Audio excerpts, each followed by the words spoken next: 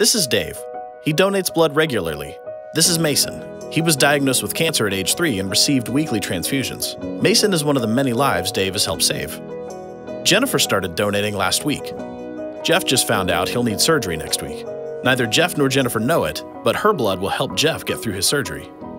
This is Lauren. She'll need a blood transfusion in two weeks. Will your donation save her life? Donate today. You'll save lives tomorrow.